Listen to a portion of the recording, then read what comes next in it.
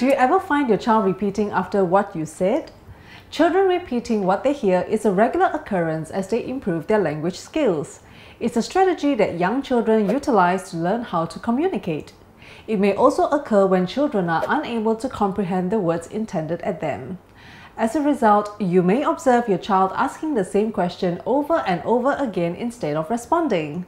Hi, my name is Fareen and in this video, I will be sharing the three things parents should know about echolalia in children with autism. Echolalia is the repeat of words or phrases.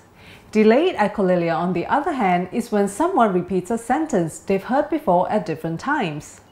For example, when the father asks, Do you want milk? A child will repeat, Do you want milk? The child mentions, Do you want milk? when he sees milk bottle out of context. When children use echolalia, it may be hard to understand what they are trying to say. Understanding this form of speech can help you understand their meaning. Let's look at three things about echolalia.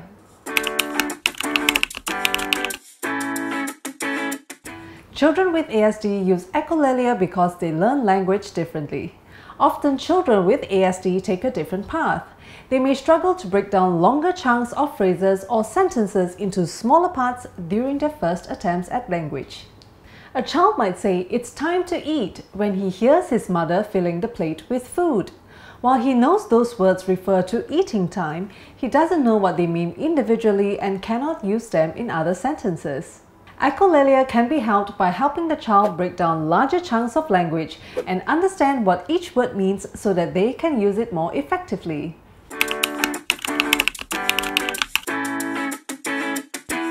Echolalia often has a purpose or message. Occasionally, children use echolalia for self-soothing or for rehearsing something. The purpose of echolalia may not be to send a message to anyone.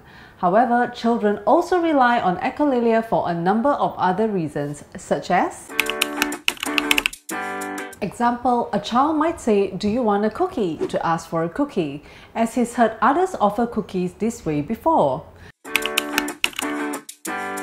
For example, if a child imitates, you don't want to wear those pants, as his parent is getting out his pants, he might really mean, I don't want to wear those pants.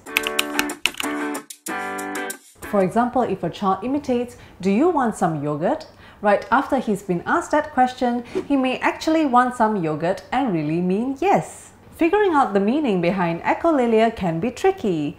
Looking at the context is very important and thinking about the time the child originally heard it can help too.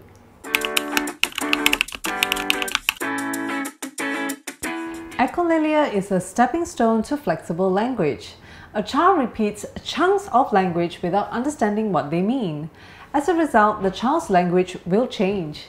Words and phrases are recombined, mixed and repeated which is known as mitigated echolalia. However, as children develop their language, they may use fewer words or shorter phrases to express themselves. Language becomes more spontaneous and adaptable over time. Echolalia may be perplexing at times. However, you will be more able to support a child who uses echolalia if you understand why they use it and how it acts as a bridge to more flexible language. If you have any inquiries, feel free to contact us using the information shown on the screen. And if you happen to know of someone who may benefit from this video, do share it with them as well. Thank you for watching the video today and we will see you next week. Bye!